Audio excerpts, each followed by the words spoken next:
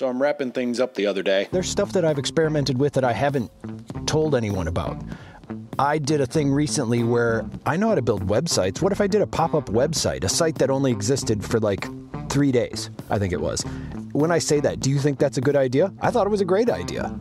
But then I realized like I'm asking people to go somewhere where they have no idea who the people are, asking them to buy things on the internet. Because there was lots of visits. That gave me the ability to go, well, I still think it's a good idea. How can I rethink this? So then, if I put it under the umbrella of the site that I already have, maybe it would work better. Like, do, if I did a thing where I'm like, I sold a limited amount of things by other artists or things that I do, and it was only available for a few days, and they were like special things that were never going to be made again. I mean, would you visit it? I don't know. I still think it's a good idea. Might be, might not. I don't know. That's one of the things I've tried. Actually, I've been trying out a new song this entire season. If you actually go back to the first episode of the season and just kind of skip all the way through from show to show, I've been working on a song and it's kind of evolved over time to what you're hearing in the background of this episode right now. So I've been using this podcast to test out what I think of a song. J- just lots of stuff in the background, like it's all under different names. I've been trying different ways to bring traffic to my site. That's why I like to do, first of all, this whole podcast is about meeting people and trying new things. Before I did this podcast, I didn't do anything. I had all these ideas, I had all this, like, I'm going to try this thing someday. And now I am trying those things, and I'm trying them whenever I get the chance. That's why I do this show in seasons. So I take a break, go try some things out, and then start new.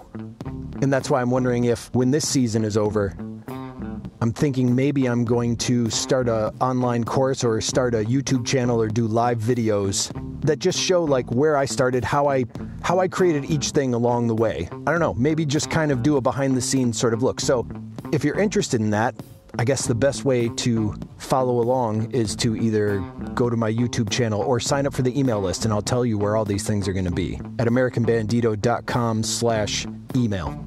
I'll try that. I'm Tom Ray, and this is American Bandito. Person that I meet today actually is someone that I've been following for quite some time, and I really like her drawing style. Hi, I'm Emily Balsley, and I am an illustrator living in Madison. We'd been messaging back and forth, and I've been trying to get her on the show. Then I saw recently that she was doing a mural here at the university. She's done all kinds of illustration and work for magazines and for companies, and she even just got represented by an agency recently. One thing that I love is that she actually does artwork full time, and we talk a little bit about that. Have you always been here, or where are you from? I was born in Green Bay. I lived there for two years, and then I uh, moved to Marathon, which is up near Wausau. And I went to school in Madison. I finished up my degree, my art degree here at UW Madison, and I've been living here ever since. How did that all start? Like the actually going to school for it? Well, I took as many art classes as I could in high school, but there like weren't a lot offered, and they were pretty general. But I had a great art teacher in high school. His name was Mr. Christensen. We called him Mr. C for short, and he was super supportive of me and my art. And he submitted my work to different awards and for scholarships and stuff like that. So I actually won a few art awards in high school thanks to Mr. C. Um, so super supportive. In fact, one of my high school uh, life drawing paintings or life paintings, I should say, won an award that sent it to the U.S. Capitol for a year. So in 1993, I believe, my painting was hanging in Congressman Dave Obey's office for a year, and I went to visit it with my family, which was cool. So um, it was like a sneaker, uh, an apple was in it. You know, it was just like a little collection of objects that Mr. C put in the middle of the room for all. I think we were practicing like shading and highlights, so it was a painting, and so we were working on you know the reflections and the the shading and stuff like that. I was really specifically proud of the apple. Oh, you were okay. Well, and so the style, like it was, it was realistic. But I know, or it sounds like you're saying it was realistic. But your style right now is not technically that way. It's a lot more uh, illustrative. So how did you transition, or how did you find that kind of voice? Yeah, you're right. Um, the the high school painting was much more realistic, but that was I mean, what we were supposed to be working on. We were supposed to be rendering from life, and so my current style, which, like you said, is much more illustrative, much more stylized, graphic, bold, flat colors. That has kind of evolved over the last few years. Why just in the past few years did you start going in that direction? Because I've only been illustrating for a few years, and so when I started focusing on illustration, I was kind of looking at a lot of art and a lot of other illustration, and I was really inspired and influenced by mid-century illustration. Um, so like Mary Blair, um, Duvoisin, um, some, so some of these artists that we're working with, kind of flat colors with some line work integrated into it, but more just the flats. And I just love that that style. And so I think when I kind of rediscovered drawing and illustration, I was heavily influenced by that. So I was drawing in that way, but then slowly kind of evolved into what my current style is just these kind of eyes and these kinds of noses, you know, like those little characteristics that make it my style and make it recognizable as my style. That happened in the last I would say three years or so. Was there a project or something that led you up to it, or you just were like, I need a change? well, I love drawing people and animals, and so I was actually doing some family portraits for a while, some illustrated family portraits, and I think just by drawing people over and over again, and different people, you know, different mm-hmm. hairstyles, different you know, facial hair glasses, you know, all those different things. Just drawing enough of it, it just evolved from from there. So now I don't really have to think about it. I'm just like, okay, I'm going to draw a face. This is here it is, and I can just whip it out really fast without much thought.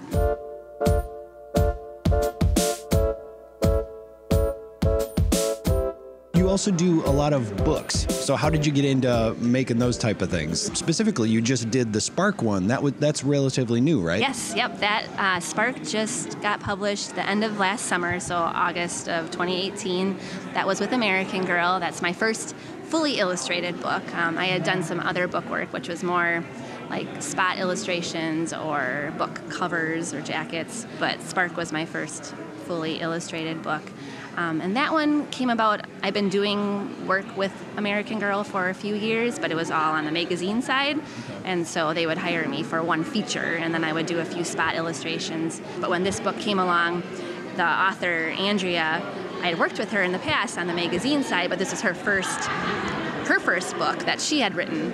And it's all about creativity, about um, creativity for kids specifically, and what that means because it's different for every person, and it doesn't necessarily mean that you're good at drawing. It could mean that you like to play an instrument, or you like to cook, or you like to problem solve. So creativity can mean so many things. And when she came up with this concept, she immediately thought of me as the illustrator because we had worked together in the past and she was familiar with my style and she just thought that it would be perfect for what she was envisioning for the book. And so she kind of told me about the idea and asked me if I wanted to be a part of it. And I love the idea of it. I mean, the, the concept of the book was right up my alley. In fact, I could I even helped her concept a little bit and brainstorm some of the activities and little parts of the book. I mean, she still definitely wrote all of it, but she could bounce some of the ideas off of me just being a creative person myself. So it was a really perfect project for my first book. So you said that you had worked with American Girl in the past. So how did you get involved with them to begin with? Oh, that was friend of a friend kind of thing. So one of my friends that I just hang out with, we do like craft nights and stuff together. Her husband was one of the art directors at at uh, American Girl, so he's the one that hired me initially, and then I eventually worked with some other art directors as well. So the book, now the process of making that, you said she thought you'd be.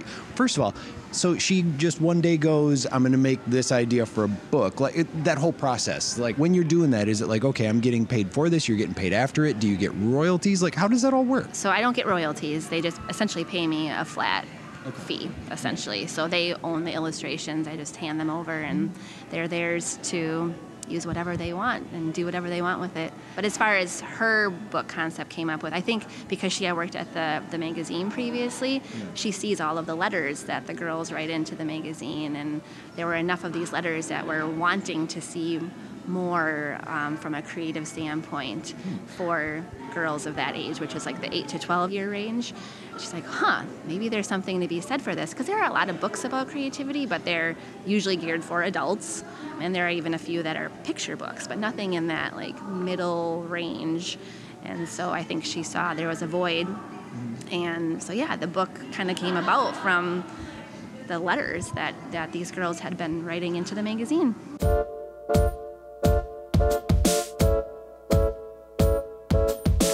You maintain and manage all this? And now you're also working on a mural here, so how do you do it all? I'll be honest, it is definitely the hardest part of my job, just because I am working with several clients, several projects at one time, and I want each of my clients to feel like I'm really only working on their project, right? I'm not neglecting anyone. So that means that there's a lot of balls in the air at one point. And for me, and plus, you know, all of these different, different projects have different timelines, different deadlines, you know, just managing expectations and all of that too. So it is really challenging. And for me, it's just a, getting out an idea of what my big picture is and then like my day to day. So I actually have a calendar. It's a desk calendar, you know, like those big sheets, right? Uh, essentially a blank one, so I can just write in the month and write in all the dates, essentially. So I use three of those at a time, and I hang them on my wall, so I have the current month and then the next two months.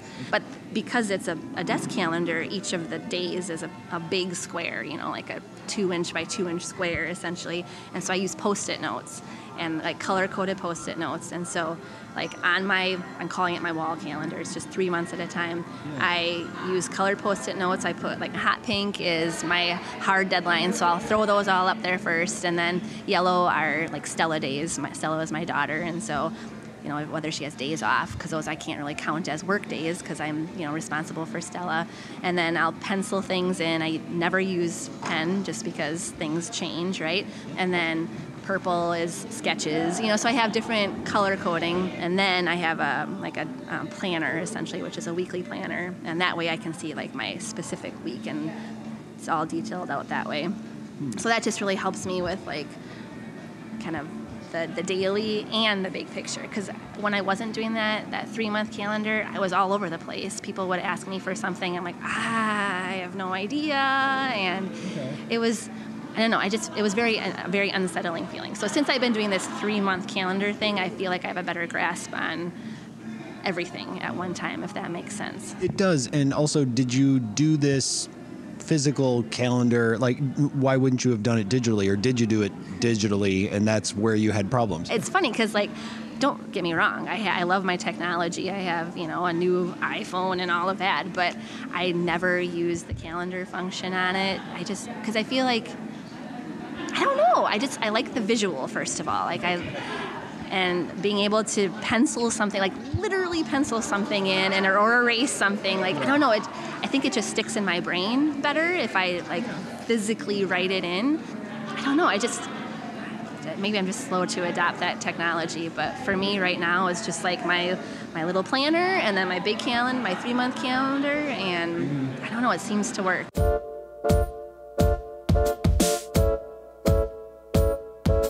Try to make sure that you also just do personal stuff that entertains you or inspires you. Where do you get the ideas for those? That is really important to me, the personal work, because I don't want to lose myself. Plus, that's always a way for me to experiment with different mediums or maybe mm-hmm. something that like you know an itch that needs to be scratched like something i've been thinking about and this is my my chance to work on it so a lot of times those daily challenges or those 100 day projects are where i get to kind of play around with my art a little bit mm-hmm. So for example that my 2018 100 day project was 100 days of i love you and that was essentially me hand lettering i love you in 100 different languages which in and of itself is a good challenge, right? Because I have to come up with 100 different lettering styles and typefaces, and that was tricky.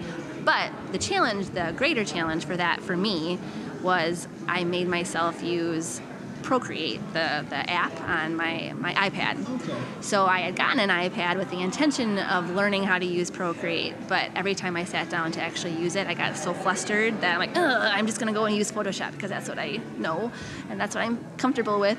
But for this 100 day project, I'm like, okay, this is perfect. Like, this is going to force me to actually sit down and learn the app and learn how to use it. And so I did a, a Skillshare class and quickly learned the basics of Procreate just enough that I could actually get through this project. And it was good. Like, it did force me to learn it, and now I feel a lot more comfortable when I do decide to do some work in that in that app. So yeah, there's always a like another layer of challenge in those daily projects for me. So, and I like the daily projects because there's accountability um, from like a social media standpoint. It's a good way for me to get more followers. Is because if we're all doing because a lot of people, for example, the, the 100 Day Project, a lot of people participate in that. And so that's a good way to get to know people and network and get a few more followers. And plus, then it's accountability because people are following you and are watching you and are expecting you to post every day. So kind of keeps tabs on me as well. The one thing I've learned from using tablets and phones and stuff like that is it's just it it's so slippery. it is slippery, that darn pen. It is.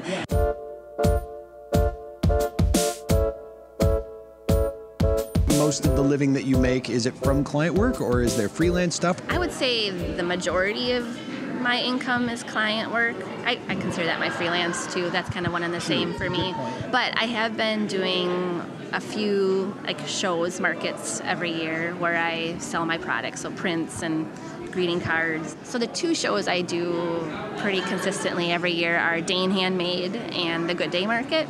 I don't want to focus too much of my time on those shows, so that's why I try to just limit it to a few every year. But it's a good way for me to get myself out into the community and meet some of the people that might follow me on Instagram or just just getting the opportunity to explain my work and my thought process. And um, I think it's good for me because most of the time I'm working by myself and I don't really get out and about very often. So it's nice to go and you know talk to people and talk about my art and make it sound like you're just in, in complete solitude. I mean, yeah, kind of. I'm working by myself. I mean, my dog and my cat are there, but they don't say much generally. So. Do you ever dabble in advertising or anything like that? I haven't ever done any advertising. For me, it's purely social media. I have the Instagram account, and then I also have a, a Facebook account specifically for my illustration, which is essentially the same thing because when I post on Instagram, I just click the Facebook button and it posts the same thing on Facebook. But it's for those people that don't have Instagram. But yeah, I, I found I, I, actually really love social media because it's such a great way to connect and find like minded people. And I just feel so thankful that we have it as an option because even 10 years ago, there wasn't this such thing as social media, right? So it's essentially free advertising, and mm-hmm. it's not always a good thing because it, I feel like I also spend a lot of my time on it and just like scrolling through my feed, which is good, but it's also like, oh, I should really be actually making something and get off the screen. Well, you know they got that thing built into Instagram now where you can look and see how much time you've spent on it. I know, and it's very scary. but I tell myself, social media equals work, right? I, for me, I think it does. I I don't know. Maybe I'm just trying to justify it, but. What kind of interesting connections have you made on there? Well, I mean, I made a lot of connections. I found a lot of just fellow creatives in the Madison area through Instagram, just people tagging their friends and so on and so forth. And I'm mm-hmm. always clicking on links and hashtags and stuff like that. And so I feel like I found so many great people just in this area alone just through Instagram. And I'm I participate in you know a few like Facebook groups and stuff like that. And so that's a good way to connect with people around the world as well. I did a couple online classes and those Facebook groups were really good for that because all the people that were in the class with me were in the Facebook group. And so it was a good way to discuss the assignments or other things that we might be going through at the same time. But again, being like minded people, whether they're illustrators or whatnot, it was nice to kind of have that community of people that were doing the same thing or maybe at the same point of our career. And so we could kind of bounce things off of each other or, or having similar you know like oh it's tax season and we can all complain about doing our taxes or whatever it is right? Like it's nice having that tribe of people. Yeah. and so I, for me those facebook group facebook groups were good for that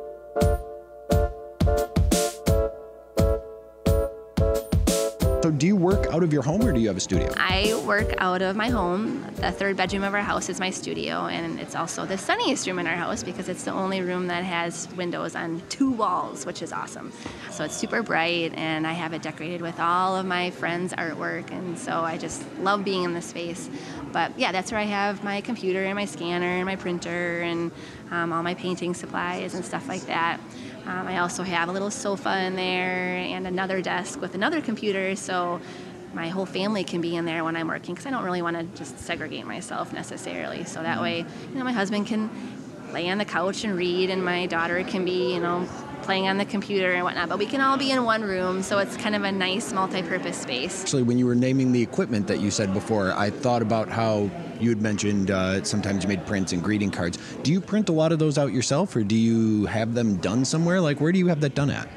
I do not print them. I used to, but I found that I'm just too cheap to invest in. That's actually why I'm asking. yeah, my standards are way higher than they used to be, to be honest. So I outsource all of my printing now. So greeting cards, I get printed at moo.com, yeah, which is where I got all of my business cards. But now I've been using them for greeting cards too, and they're nice because they do the they call it Printfinity, where you can submit like up to 20 or 25 different designs, which is nice. So I can do a batch of cards that all have different fronts, which is really cool. And then the same back. I can just put my logo on the back and be done with it.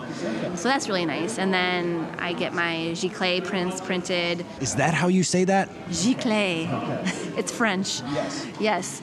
Um, so I have two sources. I use either uh, Picture Salon, which is local, and I, I prefer to use them just because I would prefer to support local, but they're slightly more expensive than other options. And so if I have a lot of printing that I need to do, I'll use gicleetoday.com, which is good, slightly less expensive than Picture Salon, but the quality is just as good. I heard about it a while back, and it's like, oh, it's really just like inkjet printing. Naming it that is just a way to kind of legitimize it. Exactly, so fancy.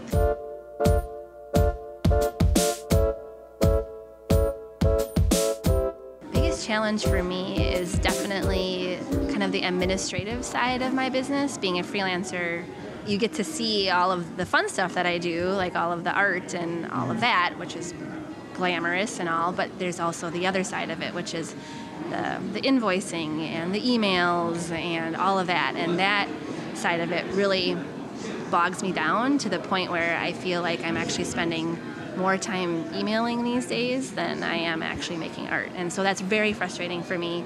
And that's one of the reasons that I now have an agent because I kind of came to the point where I felt like I was spending so much time on that administrative stuff that it just it was just too much. The agent contacted me and I'm like, "Oh, maybe this is the answer because they will take care of a lot of that stuff like the negotiating and the invoicing and some of the emailing, you know, when new projects come or new clients come in. So again, I'm not that far into the whole agency thing to know if it's going to make much of a difference, but right now I'm hoping that it will take a little bit of that burden off of me so I have more time to make art. But I would definitely say that administrative part, you know, like now it's coming on up to tax season. And so now I got to balance my books and make sure all of my invoices are square. You know, it's just all of that.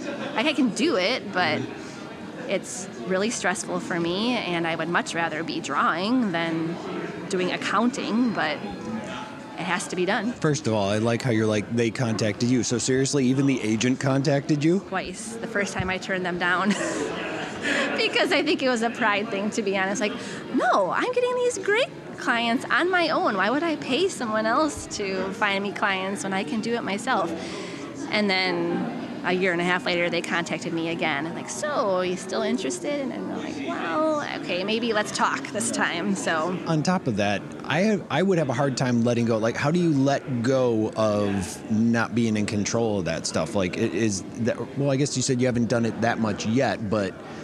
I guess leading up to it, are you okay with that? Or are there ways you're dealing with that? That would be my biggest problem. I'll be honest. I am kind of freaking out about that because I am totally a control freak to the point where I want to be writing the emails myself because for me, my business is based on me and my relationships and my personality. And if someone else is writing my emails, unless they're like a perfect match to who I am and what I re- represent, I don't want someone else writing those emails and creating those relationships. So, yes, that's a good question. Like, I do feel like I would have have a hard time releasing some of that. But at the same time, I know that something has to give, and if that means sacrificing some emails to someone else okay we'll see how it goes i'm willing to try it at least right. and that's the thing with this agency is it's a it's a six month trial period even though we're pretty close to six months at this point but if i don't like it if it doesn't make me comfortable i can stop at any point but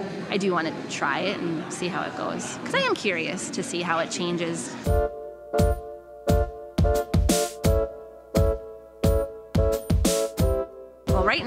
working on probably one of my more exciting projects of my career.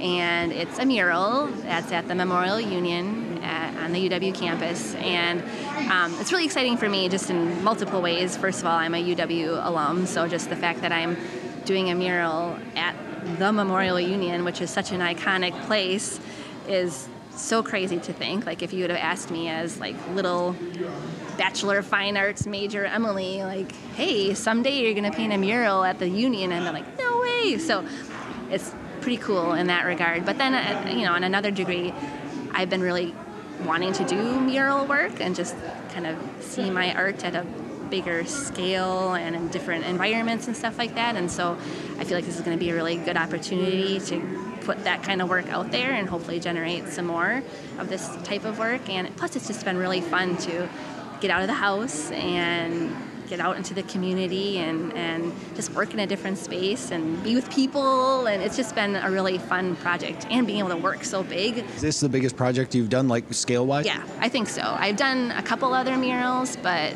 this one is by far the biggest. I mean, it's 25 feet long by 11 and a half feet wide or high, I should say. So it's it's a it's a big space, and just seeing my characters blowing up to three or four feet, it's so crazy, but really fun. What are some of the other murals you've done? I have done a mural at the Bowl of Heaven at Hilldale Mall. So that one was about three years ago.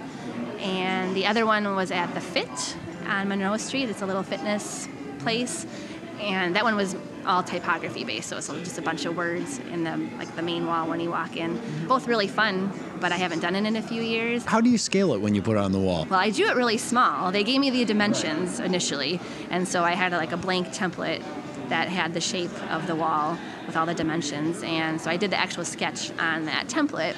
And then I just blew it up on my computer to the right dimensions um, I divided it up into three foot wide sections because at FedEx Kinko's they have a three foot wide printer, and so I could actually print out the design at like to scale, and it ended up being what eight plus sheets of paper essentially because it's a 25 foot wide mural. Yeah, tacked it up onto the wall. I got some transfer paper and transferred the design onto the wall and started painting, and the rest is history.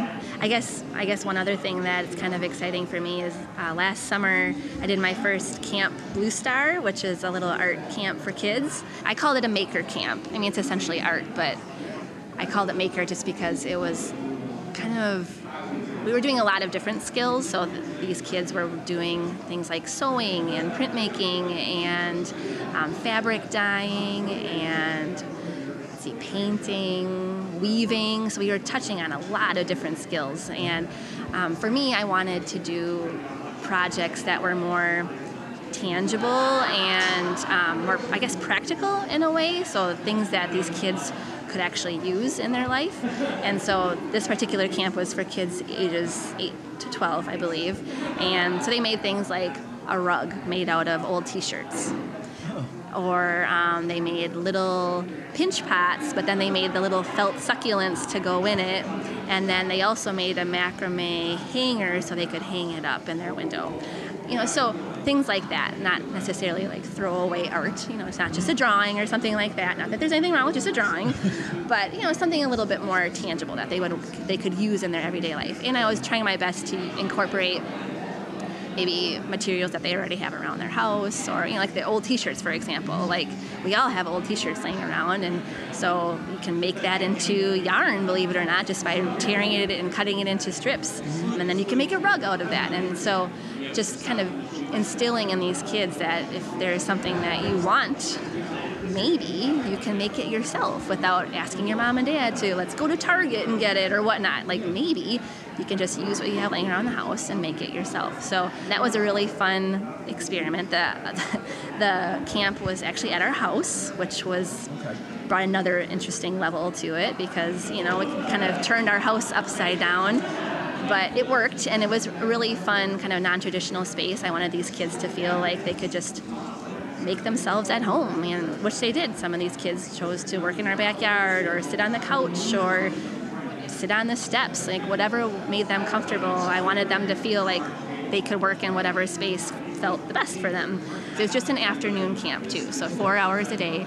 And so you didn't have to like house them and all that kind of stuff. Correct, correct. Okay. I did have to feed them snacks, oh, but it's it's okay. That that I can handle. That would be rude otherwise. Right, but I, I feel like it was a really it was a good thing um, to the point where this summer I'm planning on doing not only one week but hopefully a few more and maybe for other ages. So um, so it's called Camp Blue Star, and so just kind of keep an eye out for. I'll eventually be plugging that once I'm done with the mural, but um, look for that in the future too. And then I realize I have to ask the obvious question. So, how did you come up with the name Emily Blue Star? So, stars are just, I don't know, for some reason have always been really important to me and just like the first tattoo I wanted to get was going to be a star, and this is like back when I was in high school. Like it's, I've always just kind of had an affinity for the shape of a star, and then blue is my favorite color, turquoise specifically. My technical business name, my LLC, is Blue Star Inc.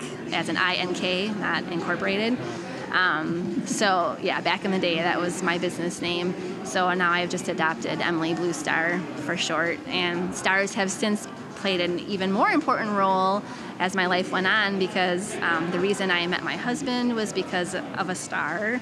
He had two star tattoos, and I I had never actually gotten that star I first mentioned, but I saw his star tattoos, and I asked him like, "What's the significance of your star tattoos?" And we got started talking, and that was like the first conversation we ever had, and then.